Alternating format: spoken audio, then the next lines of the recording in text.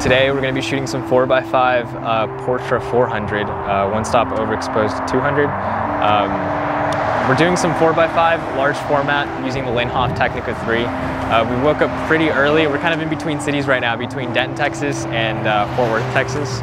Um, I don't know, I've been scouting this location out for a while now and I've been really wanting to take a photograph of it.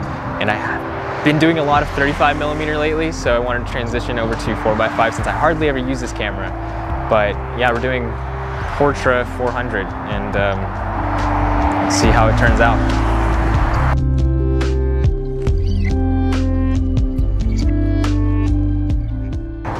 So it says there hood off because it's very low light. And then I set my ISO there, is Portra 400, but it's one stop overexposed, so it's at 200. And then I just uh, put the indicator where it tells me on this gauge here. In this case, it's close to five, so there, 16 around six or seven, seven or eight seconds. We waited a little longer for the light to come out a little bit more. So there's more light. Hood closed this time.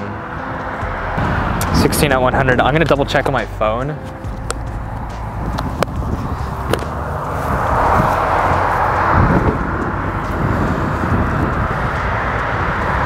Using, you know, your standard light meter app. Shooting at 1660. A 60th of a second is what it's telling me. 22 at a 30th. So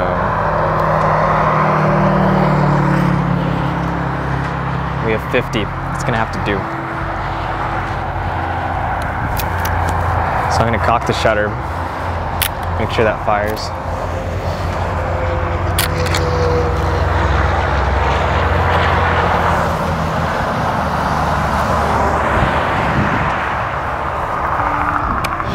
All right.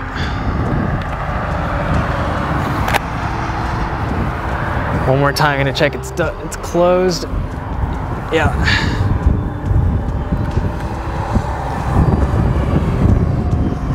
I'm gonna pull the slide and then we're gonna release it. So I'm happy with where I was able to take this photo to.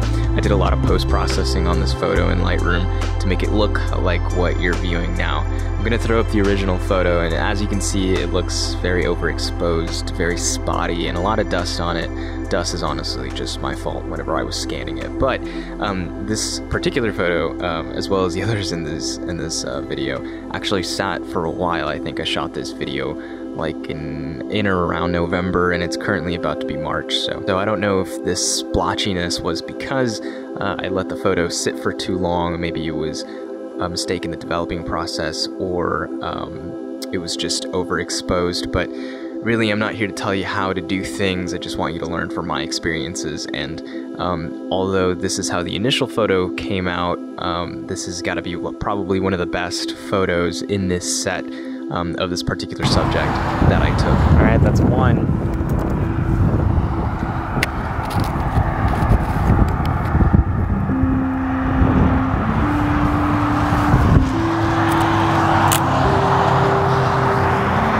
Then I'm gonna do one more as a backup.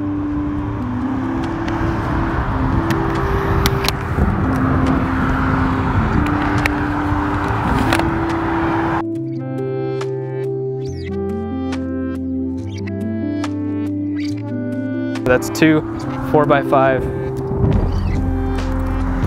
shots and we will uh, develop those at some point. I don't know, maybe like sometime this year.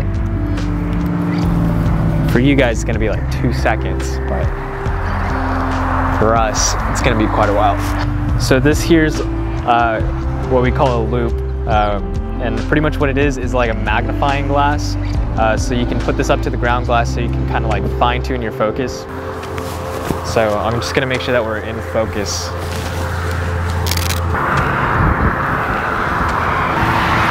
Okay, so that's pretty much where I want it. We're gonna take this off.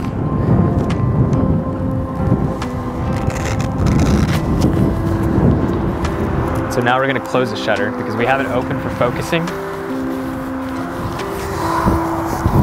So what we're gonna do now is we're gonna close it. And close the hood. Now we're gonna meter.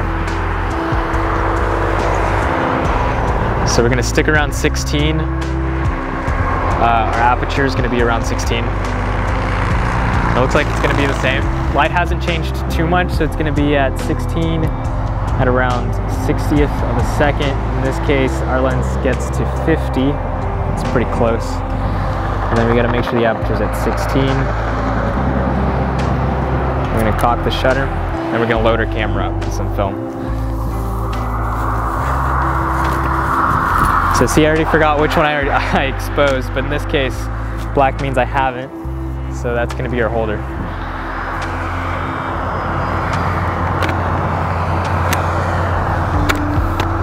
So we're gonna slide that in. Test the shutter real quick. Good. All right, here we go. Okay, that's it.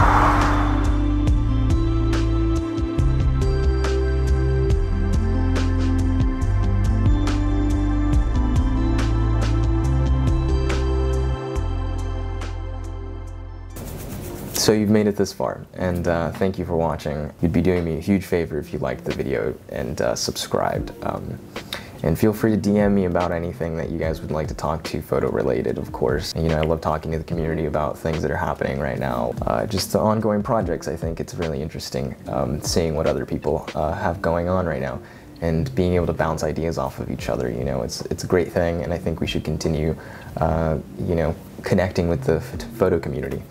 Um, so I'm not really as consistent as I'd like to be on YouTube. Um, did take me a while to put this video out, mostly because uh, developing 4x5 requires a lot more chemicals than normal. And so seeing that um, I kind of just batch develop to try to get the most out of my chemicals, you know, I had to wait a little bit so I can get this one uh, done. Luckily, one of my friends pulled through with the chemicals that I needed uh, and the scanner that I needed to be able to develop and scan these photos. Unfortunately, uh, I made a few mistakes in the scanning process that created this dust and some of these like highlights. Um, really, it's just about keeping the film as flat as possible on the uh, scanner. So just one of those things where if you don't understand the process very well, it's gonna be a lot of trial and error until you get it right. Thanks again for watching. If you'd like to follow my Instagram, I'm gonna throw it up on the screen. Um, again, reach out to me if you guys want to talk about anything photo related. I'm more than happy to respond. So thanks guys for watching and I'll see you guys in the next one.